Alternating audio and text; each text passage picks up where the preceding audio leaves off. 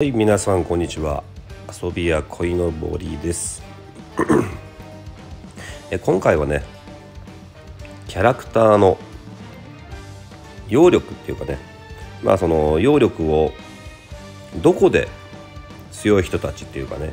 あのまあ揚力が高い人たち、えー高いと思っている人たちはどういうところで差をつけているのかっていうお話ができたらと思っております。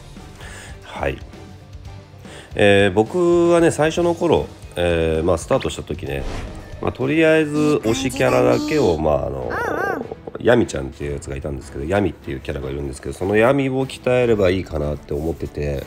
まあそれであの一気当選していこうかなみたいなことを思ってたんですけどまあちょっとそれはまああの儚く、えーまあ打ち壊されたんですけどねただえーっとまあ多分そういう感じでみんな始めてるんかと思います例えば最近のハロウィンとかね、えーあとはライドン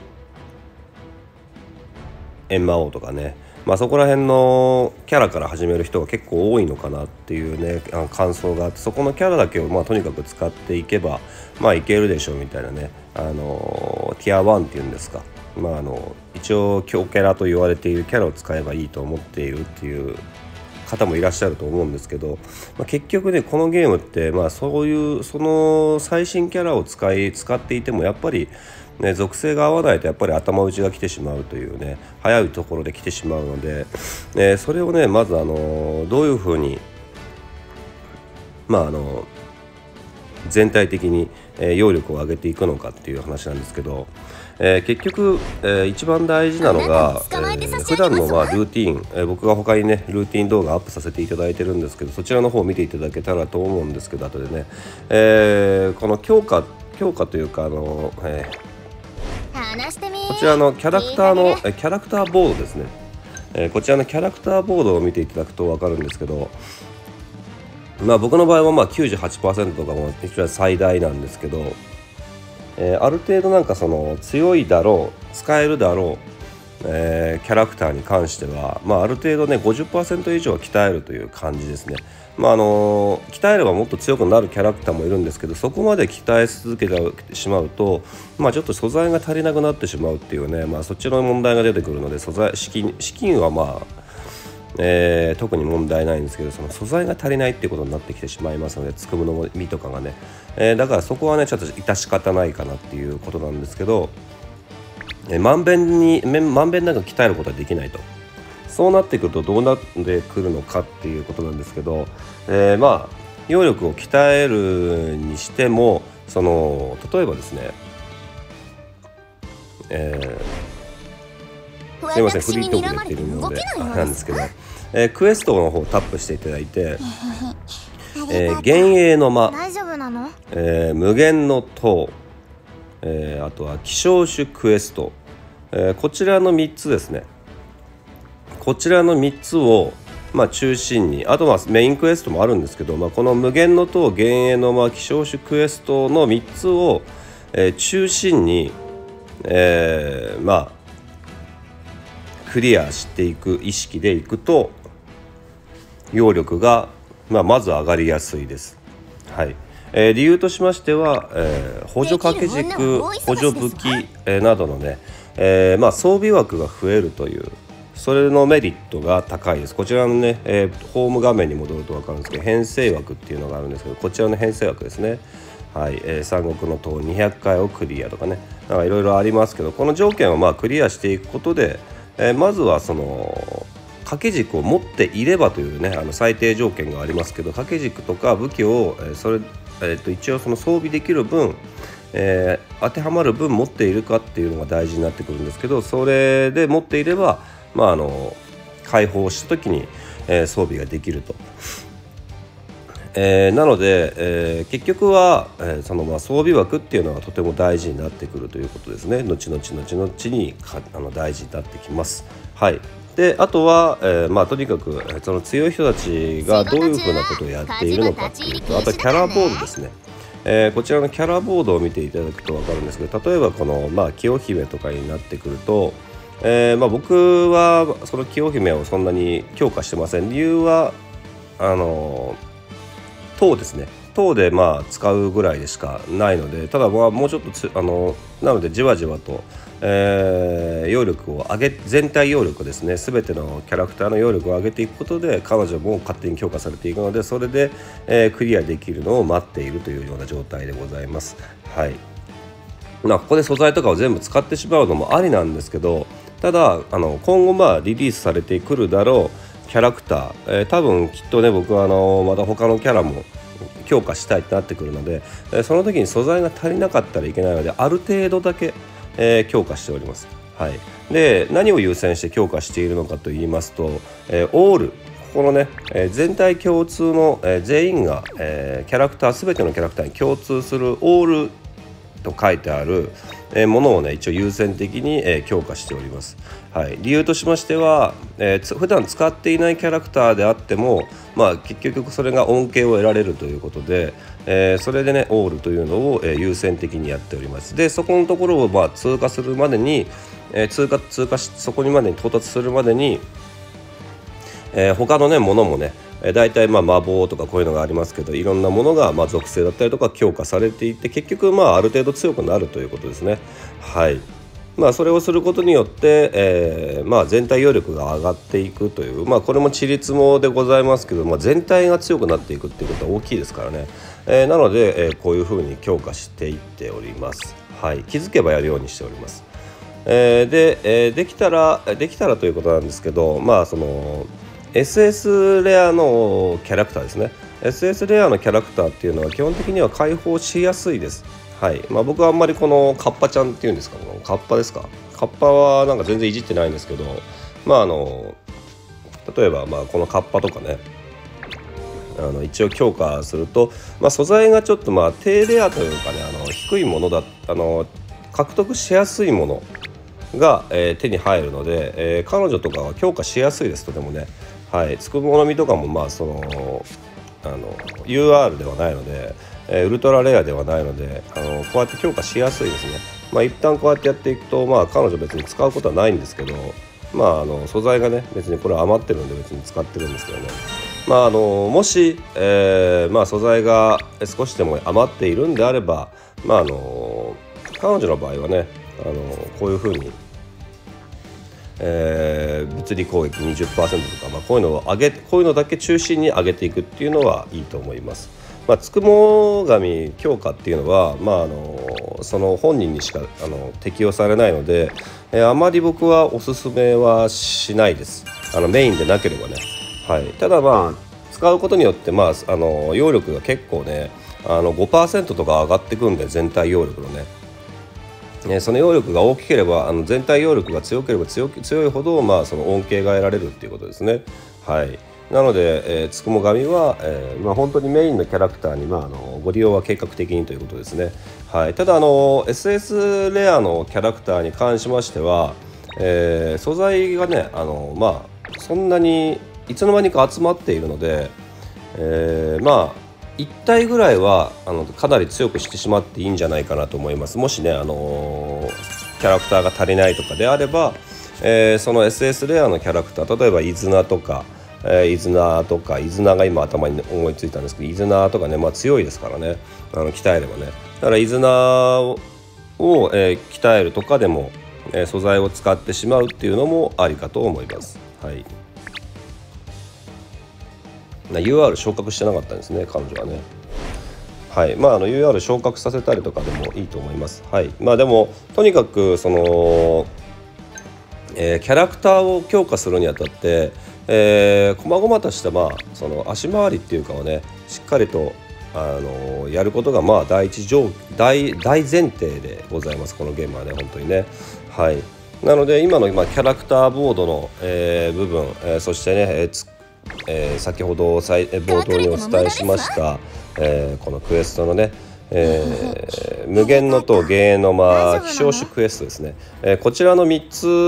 は、えー、絶対に、えー、中心的にえクリアしていくことをお勧めいたします。まあ、千本鳥もね、あのまあ、もしかしたらこのこちらのちょっとね忘れちゃってるんですけどねこちらね編成枠の方でもし開放条件の中に入っていれば、まあ、あの基本的にストーリーをクリアすればあの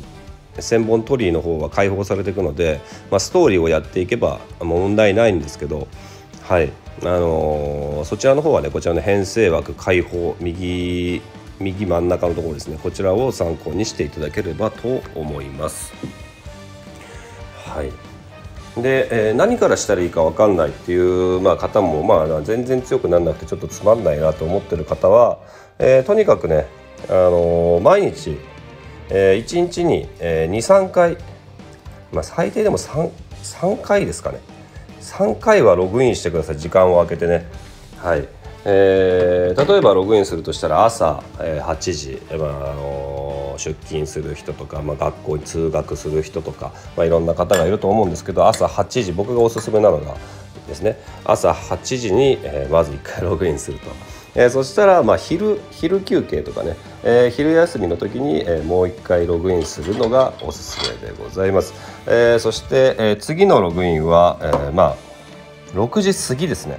はい、あの夕方6時過ぎです夕方6時過ぎに、えー、ログインすると、えー、まあ、あのスタミナがね150もらえるということでね、えー、それは絶対にもらっといた方がいいです。はいでまああのあとはね、まあ、結局3回っていうより、まあ、4回とかになっちゃうかもしれないですけど、えーまあ、メインで、入る時間は30分から、まあ、できたらまあ1時間あったらまあ間違いないのかなとは思うんですけどね。でも多分1日30分でもまあやってればそのルーティン動画上げてるのでそちらの方を見ていただければ、えー、かなり変わると思うんですけど、えー、まあメイン30分、えー、あとは、えー、5分とかで、全然ねあの強くなりますんでね、まあ、1日4回が理想かなという感じです。あと寝る前にね1回入るっていうね。はい。であとは、えー、この強化ですね。すみません。ちょっとあのちょっとあのバラッといくバラバラっといくんですけど、えー、こちらの、えー、タウンですね。タウンの方に行って、まあ、タウンのね、えー、こちら、え僕はね最初の頃にもう開放全部してしまったんですけど、えこのタヌキですね。豆だぬきですね。豆だぬきは僕はもう最初のところでマックス 10, まで開放してしまってます。まあそのもらえる石で全部で開放してしまったという感じですね。まあ理由としてはねあのやっぱりあの最初の方今の今僕の現状でいくと大体まあ90時間以上かかってしまうんですよね。1, 1匹の豆だぬきでまあ強化していってもね。なのでまああの3体使ったとしたらもう3分の1でまあ30時間以上、えー、1体1個の強化についてかかっあのなってしまうんですけど結局はあの、まあ、豆だぬきはえー、開放しといた方が、えー、素材が揃えばねあのどんどん強あのこの施設というかを強化できていきますので建設でき建築というかできていきますので、えー、まあこちらの豆だぬきは、えー、まあできたらですよ。できたら、まあ今、今石がないんであればやめといた方がいいですけど、まあ、ちょっと追いついてないなということであれば豆だぬきはなるべく多めに、えー、早めに開放していくことをお勧めいたします、まあ、月に1個でもいいかもしれないですけどね、はい、あのいいと思います。はい。まあ、月に1個2週間に1個でもいいからね。あのできたらそこはあの気にかけてあげるといいと思います。ただ僕はまあちょっと余っているので余ってる時と足りない時が出てくるのでそれやったらもうマックスに、えー、しております。そう。あのいきなりね必要になるんですよね。あの素材が揃った時にね。はいということでございましてそちらそちらのタウンも大事でございます。で次に、えー、滝行はもうしょっちゅうこれは見かけあの見てあげてください。あのそのログインする時にね。はい、えー、なぜかというと、まあ、これはね完全にまあ、まあ、昔のプレイヤーで特にそうなんですけど、えー、まあ課金のしてる方でも確実にやっている、まあ、ものですね。でこれはまああのちゃんと埋めてあげることによって、まあ、あの彼女たちは、えー、レア度がどんどん上がっていくというね、はい、感じでございます。ねまああのこれをやることによって、まあ、彼女たちのそのステータスっていうかがね、まあ、あのどんどん上がっていきますので。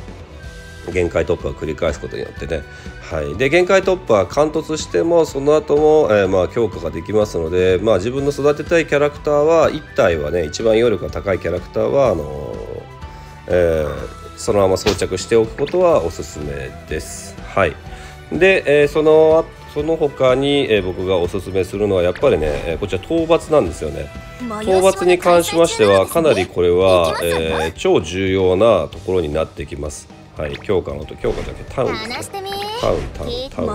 タウンのえー、こちらになりますね。こちらの討伐ですね。もう討伐今日はもう一回終わってるんですけど、えー、こちらはもうとにかく、えー、こちらの討伐はね、えー、しっかりとキャラクターを割り当ててください、えー、デフォルトって言ったらいいんですかね、あのー、純粋に、まあ、あのコラボとかしていないキャラクターたちが、え対象になりますので、えー、まあ、このラインナップを見ていただけさっきのカッパもおりますねカッパもおりますよねだからこの、えー UR のキャラクター以外も、えここに関わってこれますので、えまあとにかくキャラをね、え獲得することによって、えまああの1日の0時毎日ね0時6時12時18時でねあの討伐が完了していきますのでこちらの方は絶対にあの絶対にというか超大事です。はい、揚力を上げるにはね1日にもう何百とか、えー、上がる時は、ね、タイミングさえ合えば、まあ、1000とかあの普通に揚力上がっていきますからね1000以上とかね、はい、なのでこちらはあの中心に、えー、考えていただけたらと思います。はいまあ、とにかく遊ぶ時間がないあのちょっとあんまりこうできないんだできないっていう方でもここの討伐だけを、まあ、まあ、あの極論なんですけど討伐だけをしっかりとこのキャラを解放しておいて、えー、獲得しておいて、えー、ここに当てはめておけば、まあ、ここだけ見逃さなければ、まあ、タウンだけしっかりやっていれば、まああのいつの間にか攻略できる揚力が手に入っています。はい、これはあの極論ですね。極論ですけど。なのであの討伐だけは絶対にあの討伐というかねこちらのそう討伐だけは絶対にあの見逃さないでください。でその討伐に関しまして、えー、もしねキャラクターが揃っていないという方は、えー、余裕があるんであれば、え、妖怪パスこちらの方ですね。こちらの妖怪パスで、えーまあ、僕はあのデイリー原用石の方をおすすめしているんですけどまあ、僕はこれだけでまあ今やってるんですけどね、え、もしキャラクターが足りないそして掛け軸もちょっとあの牽制枠というかあの中にまあちょっと余っちゃってるなっていうあの余っちゃってる編成枠が逆に逆にあの獲得して余ってしまっているという方は妖怪パスを購入することをお勧めいたします。まず月額2000円ですからね。まあちょっとあの何かあのランチを、まあ、もしあの結構ねあのお小遣いとかまあ、決まってる方とかだったら、まあ、あのそこをちょっとあの変えればいいだけですからね。あのプロテインバーにしてちょっとダイエットついでにしちゃおうかなみたいな感じにして、えーまあ、妖怪バスを買うという、ね、あのランチの時にね。はい、そうすれば、まあ、あのすぐ買えるような買えないようなあれではないので、えー、この妖怪パスを、えーまあ、追加で、えー、購入されることをお勧めします。はい、理由としましてはこの国ガチャがね無料なのがプラス1っていうのがありますよね。これってね本当はでかいんですよね。これねしかもあの理由としましてはこのガチャ開きますよね。10連ガチャが毎日できるあのこの開放条件にもよるんですけど僕の場合は1234567人ですね。7人の養種が今、まあ、あのストーリーを開放することでこれが、えー、ガチャができるようになるんですけどえー、ストーリーを開放していないと、まあ、とりあえず、まあ、滝夜叉姫だけしかいないという状況がスタートでございます。はい。まあねあのー、これはね早いうちにストーリーをクリアすることによって、えー、得られる恩恵なんですけどね、えー、とにかくなんかそのストーリー攻略をするにあたっても討伐っていうのはめちゃめちゃ大事です。はい。えー、なのでね毎日ログインすることによって、えー、まあ、得られる恩恵を最大限に僕らはもらっていくことで、えー、キャラクターを揃えていけるということですね。そしてあの妖怪パスの価値が高くなっていくということでございます、えなので例えば、まあ、あの僕からの考案なんですけど、えまあ早いうちに、えまあその今のね妖怪パスを購入してしまうっていうのを僕は早いうちに買ってしまったんですけどで今現在使ってないんですけど、まあ、今現在の僕だったら、えー、最大限に、えー、まあね7人ですからねあのプラス7ってことは、えーちょっと待ってください、ね、今足頭が回ってなかった。えっとですね、えー、とにかく単純にですね、えー、無料で 1, 1, 1日1回7回のガチャ7枚のガチャが引けると。国ガチャ1つずつね、えー、ヤシャの国だとか三国とかね。引けるってことは、まあ、とりあえずあの普通に考えたら毎日ログインするだけで 7, 7回7回のね7連ガチャが引けると。でそこに妖怪パスをプラスするだけで14連ガチャができると。はい。そういうことなんですよね。14連ガチャと7連ガチャって言ったらまず相当違いますよね。確率的には要種も鉄あのもしかしたら手に入る確率もまあ若干上がるので、えー、私の場合は、えー、まあまたまあ、年始ぐらいからまた入れようかなと思ってます。なんでかっていうと、まあ、その狐の国っていうんですか、陽子の国っていうんですか、えー、今度ね、またあの次の大型アップデートが入った時に、えー、まあ、陽子実装されますんでね、えー、なのでその時に妖怪パス行こうかなと思っております。まあ、本来はね僕の時点でもあの強くなりたいのであれば、え妖怪パスと、えーまあ、あとはその原用石のねデイリーでもらえるやつ、えー、を、えー、契約しておくだけで、まあ、かなり爆上がります。はい、正直ねあのストーリーの攻略状況にもよりますけどね、はい、そうなってくるそういうのをやっていくことによって、え、かなり、えー、変わってきますので、まあ、その僕の場合は今のところキャラクターに特に困っているという感じではないので、えー、そこはねあの特に今のところはちょっとあのねあの課金っていうかのところは、えー、最小限に減らしておりますがねはいそんな感じでございます。はい、あとはねそのつくも神に関しましても、えー、この奉納してないんですけど、えー、毎日ね、えー、獲得はちゅあのしっかりやっといた方がいいです。つくも神めんどくさいからって言ってやってしあのやや放置しておくと結構なね、えー、容力差がついてしまいますので、えー、まあ、あのできるところで、まあ、グレードアップだけしておくとか、まあ、あのコツコツねあの覚醒だけしておくとかちょっとこう。